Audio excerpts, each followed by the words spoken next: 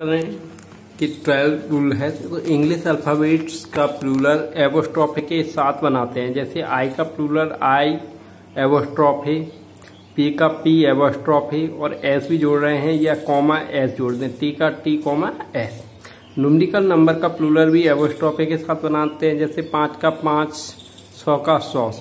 संक्षिप्त नामों का प्लूलर भी एस लगाकर बनाते हैं। जैसे बी ए का बी एस एटीएम का एटीएम लेकिन यहाँ पर गौर करने वाली है, जो एस बनाएँगे तो वो स्मॉल रहेगी। इप का इप्स बट का बट्स अप का अप्स डाउन का डाउन्स तो ग्रीक भाषा के शब्द जिनके अंत में आई एस आता है तो आई को ई में बदलकर प्लूरल बनाते हैं। जैसे बेसिस का बेसिस प्रेसिस का प्रेसिस एनालिसिस का एनालिसिस क्रिसिस का क्रिसिस हाइपोथेसिस का हाइपोथेसिस थेतिस का केवल थेतिस पैरेंथेतिस का थैतीस तो ओएसिस का ओएसिस। तो रूल क्या है? इनमें जो आई है, आई को हमने किसमें बदल दिया है? ई में। तो आई को ई में बदल दिया गया। तो ग्रीक शब्द जिनके अंत में ओ एन आता है, उनका प्लूलर ओ एन हटाकर ए जोड़कर बनाते हैं। जैसे P H E N O M E N O N तो ओ एन लास्ट में आया तो ओ एन को हटाकर हमने क्या किया? ए। इसी तरीके से क्रिटेरियन में ओ एन को हटाकर क्या किया? ए। तो लैटिन शब्द, जिनके अंत में यू एम आता है, उनका प्लूरल यू एम की जगह ए लिखकर बनाते हैं, जैसे डाटम का डाटा तो यू एम की जगह हमने क्या कर दिया?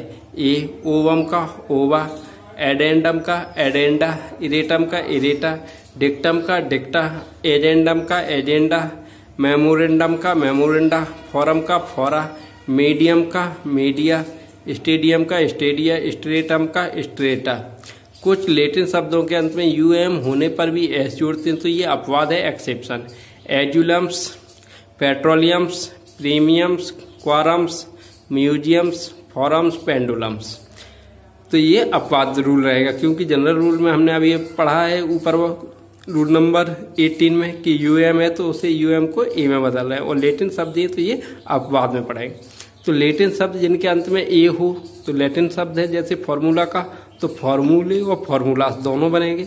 लैकुना का लैकुने लैटिन शब्द जिनके अंत में यूएस हो, वहाँ यूएस को आई में बदलकर प्लूरल बनाते हैं। जैसे कि लोकस तो लोकस का क्या होगा? लोसी यानी कि यूएस को हमने किसमें बदल दिया? आई में।